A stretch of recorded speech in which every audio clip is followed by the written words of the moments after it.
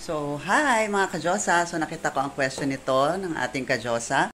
Pwede daw ba yan sa breastfeeding mommy?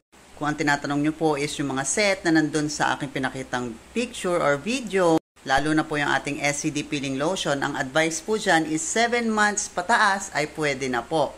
Pero syempre, know your skin type, know your condition, kasi meron pong sensitive talaga yung uh, katawan nila. So, ang pinaka-safest po natin na gamitin kapag breastfeeding mom is yung ating SCD Sakura Lotion.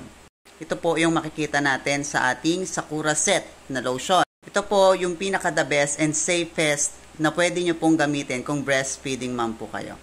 So, ayan, nagkukunayak ko nakita ko yung comment ni ate. And then, soonest mga kajosa, ito yung pinaka-mild set natin. Uh, ipapakilala ko siya sa inyo. Ito po ang ating SCD Rest to Peel lotion.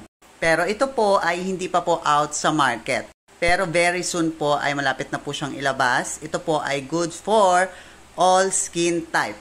Pwede siya sa normal skin type, sa oily, uh, sa breastfeeding mom, or even dun sa mga buntis. So wala pa akong idea regard sa presyo niya, pero tinetest na namin siya and soon ilalabas na po natin siya sa market.